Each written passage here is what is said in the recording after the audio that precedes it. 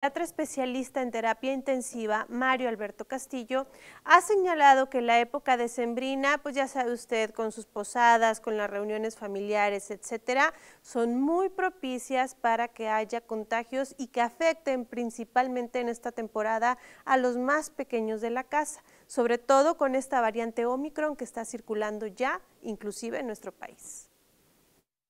Esta temporada podría ser de alto riesgo para los infantes, pues las peregrinaciones, posadas, reuniones familiares, cenas navideñas y fiestas pueden convertirse en una trampa peligrosa en esta pandemia, advirtió el pediatra internista Mario Alberto Castillo Treviño, médico regiomontano, distinguido a nivel nacional por haber tratado casos de niños contagiados del virus SARS-CoV-2. Sin embargo, hay que mencionar que el salir a las posadas, el salir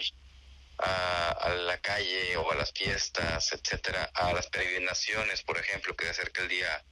de la Virgen de Guadalupe, pues es evidentemente una zona de contagio, ¿no? La verdad es que la gran mayoría de la gente, aunque porta el cubrebocas, no lo porta de manera correcta el especialista refirió que aún es muy pronto para saber cómo tratará la variante Omicron a los más pequeños, pero que hay algunos datos importantes a tener en cuenta de acuerdo al comportamiento en el que es el epicentro de esta nueva mutación del coronavirus, Sudáfrica. Como los estudios preliminares están saliendo, sin embargo, aún es muy eh, pronto para tener una tendencia respecto a Sudáfrica. Si está, si está reportando, como ahorita es el centro técnicamente donde está Omicron, que han visto un aumento de pacientes pediátricos hospitalizados. Técnicamente reportan que por cada 10 adultos hay un niño. El peligro de contagio también radica en que los niños pequeños no tienen la disciplina para seguir el protocolo de prevención como el uso correcto del cubrebocas o mantener la sana distancia, además de que ya de por sí, este mes es la temporada alta de enfermedades respiratorias. Para ellos, Mario Alberto Castillo